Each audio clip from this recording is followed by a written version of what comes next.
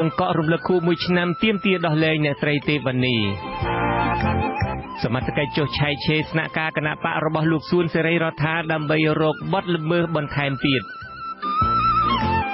មន្ត្រីសិទ្ធិមនុស្សរបស់រដ្ឋាភិបាលបង្ហាញកំហុសជាប់គ្រប់គ្រងធានាគោរពសិទ្ធិនយោបាយឲ្យបានស្មើភាពគ្នាសម្រាប់ការបោះឆ្នោតនៅខាងមុខ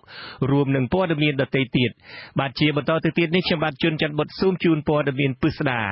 បាទលោកនៅនាងជាទីមេត្រីអ្នកបង្កក់នៅរសៀលថ្ងៃទី15សីហានេះធ្វើពិធីរំលឹកខួប1ឆ្នាំដើម្បីទាមទារដោះលែងអ្នកស្រីទេវនីដែលកំពុងជាប់ឃុំនៅក្នុងពន្ធនាគារបាទកាលពីព្រឹកថ្ងៃដដែលនេះអ្នកសមាគមបង្កក់ជាង20 20នាក់ក៏បានជួបជុំគ្នានៅមុខស្ថានទូតមួយចំនួនប្រចាំប្រទេសកម្ពុជា ដើម្បីដាក់ញត្តិសុំអន្តរាគមន៍ដោះលែងអ្នកស្រីទេពនីផងដែរបាទយើងប្រកុលនីតិនេះជូនអ្នកឆ្លើយឆ្លងព័ត៌មានរបស់អាស៊ីសេរីគឺលោកប្រាជេវដែលកំពុងស្ថិតនៅសហគមន៍បឹងកក់នៅពេលនេះមានសេចក្តីរាយការណ៍ផ្ទាល់ជូនលោកនៅនាងបាទជំរាបសួរលោកជេវបាទ បាទគេធ្វើលោកចិនច័ន្ទបាត់បានបាទគេធ្វើសកម្មភាពអីខ្លះទៅបន្ទាប់ពីចេញពីស្ថានទូតមកហើយឥឡូវហ្នឹងថាមានសកម្មភាពទៀតហ្នឹងតើធ្វើអីដល់ពេលនេះបាទបន្ទាប់ពីដាក់ញត្តិនៅប្រទេសមហាអំណាចចំនួន7នៅក្នុងស្ថានទូតក្រុងភ្នំពេញនៅ ពេលប្រលប់ប្រលប់គឺក្រមប្រតិសហគមន៍បឹងកក់មានសង្គមស៊ីវិលចូលរួមហើយមានប្រសងផងនោះគឺបានលើកផ្លាករូបថតអ្នកស្រីទេវនីធំមួយហើយមានដុតនៅក្នុងផ្កាឈូកដោយសរសេរនៅលើផ្កាឈូកឬផ្កាឈូកជាអសហ្នឹងគឺឲ្យដោះលែងអ្នកស្រីទេវនីបាន បាទហើយឮថាអ្នកស្រីរ៉ូណាស្មីតនឹងក៏បានទៅដល់ទីនោះដែរតើអ្នកស្រីមានធ្វើសេចក្តីថ្លែងការណ៍ឬមួយមានចំណាប់អារម្មណ៍បែបណាដែរចំពោះករណីអ្នកស្រីទេវនីនេះបាទអ្នកស្រីរ៉ូណាស្មីតបានបង្ហាញវត្តមាននៅម៉ោងជាង6ល្ងាចនៅពេលដែលអ្នកភូមិកំពុងតែថ្លែងការណ៍កំពុងតែដុតទៀននៅលើផ្កាឈូកហ្នឹងអ្នកស្រីបង្ហាញវត្តមានដោយ ចម្លែកគឺអត់មានបានជូនដំណឹងមុនទេស្រាប់តែឃើញដើរចេញមកតែម្ដងហើយអ្នកស្រី Rona Smith ក៏បានទៅជួបនិយាយជាមួយកូនអ្នកស្រីទេពនីតាមរយៈអ្នកបកប្រែភាសាអង់គ្លេសហើយបន្ទាប់មកទៀតហ្នឹងតំណាងសហគមន៍បឹងកក់គឺអ្នកស្រីបូសុភាបាននិយាយជាមួយអ្នកស្រីរ៉ូណាស្មីតជាង10នាទីដែរដោយក្នុងកិច្ចសន្ទនានោះគឺ អ្នកស្រីរ៉ូណាស្មីតបានប្រាប់ទៅ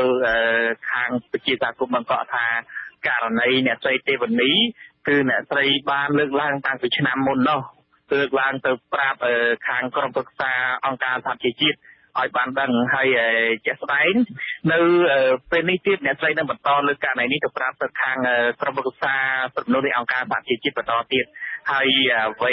ផ្សេងពីនេះគឺអ្នកស្រីបានឲ្យដឹងថាពីព្រឹកមិញ គឺអ្នកស្រីបានទៅជួបអ្នកស្រីទេវនីនៅឯពន្ធនាគារព្រៃសរបាន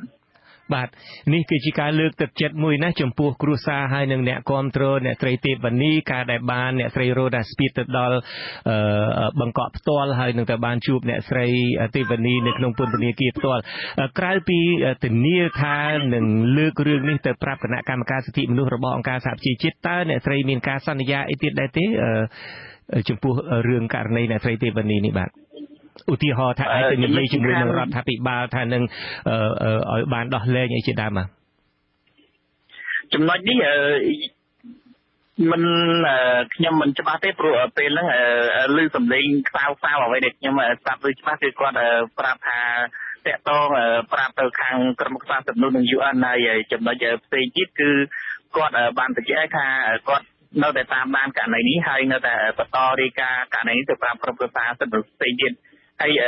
រឿងប្រាប់ខាងមន្ត្រីរដ្ឋាភិបាលគឺយើងអត់បានដឹងច្បាស់ដល់ឡើយទេចាំមើលចាំខ្ញុំទៅវិញញាតិផ្ទៀងផ្ទាត់សម្លេងនឹងម្ដងទៀតបាទបាទអរគុណលោកលោកប្រជេឥឡូវនេះមួយម៉ាត់ចុងក្រោយតើអ្នកនៅគំអ្នកនៅជួបជុំគ្នានឹងនៅរំសាយទៅហើយឬមួយក៏គេមានគោលបំណងបែបណាទៀតដែរនៅពេលនេះគឺក្រមបរដ្ឋបានរំសាយអស់រំសាយតាំងពីម៉ោងជាង7ពួកគេបានបំបាយទៅគេឋានរៀងរៀងខ្លួនហើយនៅសល់តែរូបតាអ្នកស្រីទេវនី ហើយចំសំឡេងចម្រៀងដែលច្រៀងនឹងនិពន្ធឡើងដោយក្រុមសហគមន៍បង្កក់គឺទៀមទីឲ្យដល់លេងអ្នកស្រីទេវនីបាទហើយនឹងមានតែសុទ្ធភ្លើងទៀនតិចតួចហើយក្រៅពីហ្នឹងគឺពួកគេបានវិលទៅផ្ទះឋានគេរៀងខ្លួនហើយបាទបាទអរគុណមេបាទសូមជម្រាបលាបាទបាទអរគុណជម្រាបបាទបាទលោកនាងជាទីមេត្រីគណៈ